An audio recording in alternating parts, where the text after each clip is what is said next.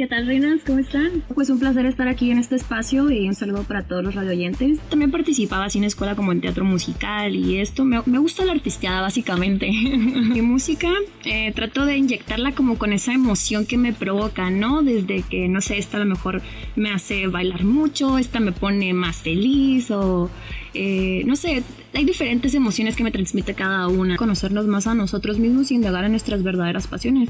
O sea, como te comento, a mí siempre me ha apasionado la música. Los artistas, pues no somos productos, ¿no? O sea, eh, se trata de compartir la música porque es universal y, y es el lenguaje del amor y además que ellos también compartían que no les gustaba mucho la fama, realmente lo que querían hacer es solo hacer música y compartirla y eso me quedó muy presente y muy grabado ahora que yo empecé también en mi proyecto y quería como quedarme con, con esa, e, esa esencia. Y cuando él vio que yo iba totalmente en serio con esto, este, ahora él es el más entusiasmado en todo el tiempo corretearme, ¿no? Invitarme a tocar o que vayamos a ensayar y, y estar compartiendo música final llegas y te plantas y ves que la gente trae otra vibra, otro humor, y dices, sabes que esto no está funcionando, a ver, le voy a dar lo que ellos quieren.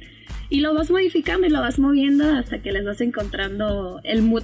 Y nos hemos hecho consumir ser tecnoadictos o adictos a la electrónica. Y la finalidad del DJ, la verdad es que bailen, que la gente baile